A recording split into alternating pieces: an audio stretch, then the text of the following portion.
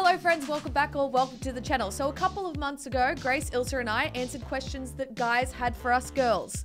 And now it's time to gather my favorite men to answer questions that us ladies have for those men, for those guys, for those boys. I'm interested to know. So, sit back, relax, grab your tea. They're about to spill it. All right, first question. First question. What are signs that a guy likes you? Like, how, how do you show that you like a girl? Me personally, if if you're not someone I'm interested in, I just won't even probably message you back that often. But if a guy like consistently responds to you and talks to you and like keeps up with you, then that's usually a sign. The big in my pants.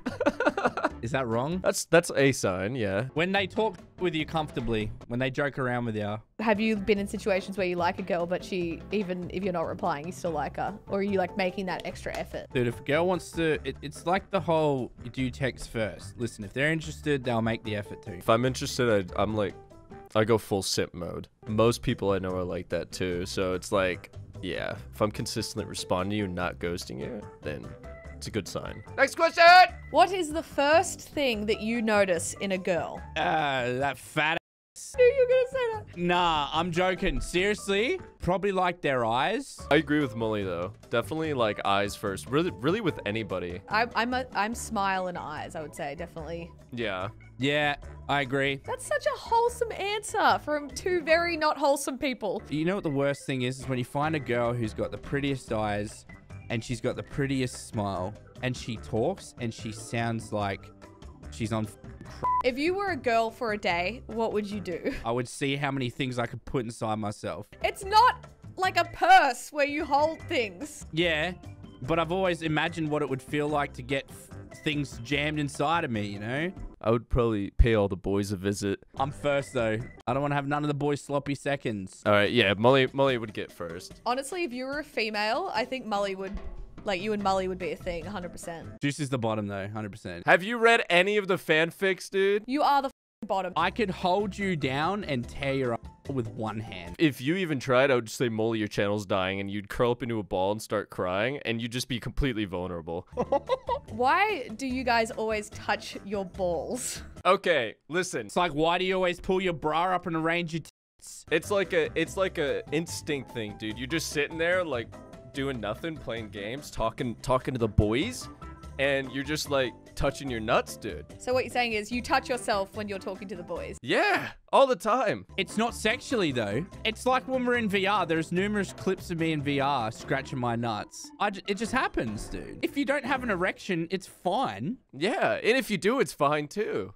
Do periods matter? No, every girl gets them. You're literally asking us if natural causes. Bro, there is guys out there who care. I promise you there is. Dudes like that are I know. And, and that's what I think this video is here to help is that a lot of women will feel a lot more comfortable knowing that you guys, like boys, a lot of boys don't give a about a lot of things. Literally. Look at Juicy. Juicy doesn't care if you bleed in between the legs. Juicy doesn't care. He'll get you some snacks from the store and put on a movie for you. Yeah, what he said. He'll cuddle you to sleep. 100%. Sometimes I bleed between the legs, you know, when Mully visits. I've done that. I mean, Mole definitely has. I know he has. You ever had hemorrhoids, bro? Hey, Tannar, can you get me a towel, please? Why, Mully? Oh, because I just sat down and my hemorrhoid busted. Now I'm bleeding everywhere. For real? Yeah. I had to go to hospital. It actually happened like first month I moved to Sydney to work for Tannar. Starts bleeding. I was bleeding from my so much I thought I was gonna die, dude. How long before a girl can in front of you? Hmm. That depends if you're into it though. First date. If you're into it. First date on your chest? Yeah, right on my chest. But I'm not talking in a sexual sense. Like a girl feels comfortable to fart and poop. I don't give a. Personally, I don't I don't give a Tannar, let me ask you this though. What if the question is the other way around? For argument's sake, you got a boyfriend. Theoretical boyfriend. Like, this isn't... You don't actually have a boyfriend. You don't have one, but I'm saying, like, what if you had one? Uh... First date, he's like, I need a First date would be weird, in my opinion. It has to apply to both sides, though. Like, if he wouldn't let me fart or poop and then was like, I'm gonna go take a fat dump, I'd be like, you. Like, you know what I mean? I think it's, like, both ways. Next question! What are your instant turn-offs? Mine would probably mine would probably have to be like unmotivated.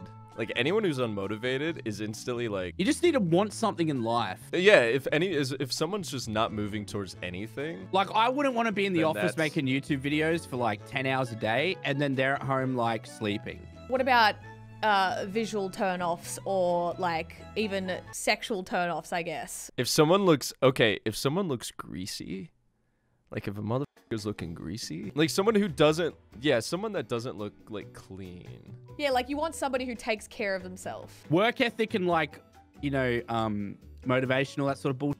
If they don't have it, I don't want them. But also hygiene. You know what I'm saying? Yeah. Brush your teeth, take a shower. Please, for the love of God, tower. How often do guys jack off? I feel like it really depends on the mood. Well, it depends, right? There's times where like you don't nut for like four days and then, you know, your balls ache, you need a nut. So do you? Is that a thing? Like you have to? Like it gets to a point where you're like, bro, I gotta release. Yeah, I would say so. Yeah, Like how is how? What's the longest you've ever gone without jacking off? Probably like a week. ten minutes. It's like I gotta go real quick. I got somewhere to be. I'll be back. I think someone's at the door. See, girls, they can literally go months. Like, No, that's not even an option. Does it really hurt that much when you get hit in the balls? Yes, yes. It's not so much getting hit in the balls, it's like the ache that you get. There's like a stomach pain that comes after. Really? Getting hit, getting hit doesn't even really hurt. Like you get like a shock, but it's the stomach pain after is f- brutal. Do you think that childbirth is easier or harder? They both got their pros and cons. Yeah, I was gonna say. I feel like they're a bit different. That was the, that was the right answer, dude. If you could only have a smart girl or a hot girl, what's your choice? Smart girl, smart girl. Yeah. Well done, boys. Oh my god, I'm so proud of you both. A hot girl who's just like dense is like just useless. Just makes me want to pull my f- hair out. Honestly. You want to be intellectually stimulated. Does a girl's body count matter when you start dating them? Meaning, like, the amount of men she has slept with before you get together. Nah. No. Why do you think some guys care? trust issues. Like they probably they probably have a past with somebody who f***ed them over, and even though they do the same, they just get like hyper self conscious. They're like, oh, she's had sex with this many people, you know. Probably can't trust her, but I don't think it matters. Is peeing standing up fun? Yeah. Dude, I am jealous. I am jealous of that dude. Peeing standing up is fun. You can spell your name and It is not fun when you have an erection. Yeah, like like after sex is it like oh, like how do you? Well, it's not even that. It's like when you wake up in the morning with morning wood and you got to go to the toilet. and then you go to pee and you think it's gonna go here, but it goes like here.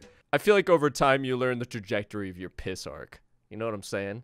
What did it feel like um losing your virginity? Like did you care? Was it a big deal? Because I know for a lot of women out there, not speaking for everyone, myself, I'm speaking for myself, is like it was a big deal. It wa- I was mostly nervous. I actually remember leaving, being like, if this is what sex feels like, I never want to have it again. Damn. Well, I thought it was. I thought it was pretty epic. See, for chicks, I feel like it's it's way more stressful though. No, I feel like it's just more stressful for guys in general, dude. You have to worry about lasting. Yeah. Which sometimes is a problem, sometimes isn't. You know? So, like, that's like, to guys, that's like a huge stressor, whether guys want to admit it or not. Well, I think you guys have educated a lot of women out there. So thank you for being actually relatively wholesome and then not so wholesome. Can you please tell them to subscribe to my channel? No! Subscribe to Tannar. She has to get enough clout to get a boyfriend. Lord knows she fing needs it. Everyone subscribe right now. There's no point you saying that, Juicy, because everyone's already clicked off this video by now. I'll give you a top tip for all the women watching. Focus on your career and getting money, okay? That's what you need to do. You need any more motivational advice? DM me. I'll tell you exactly.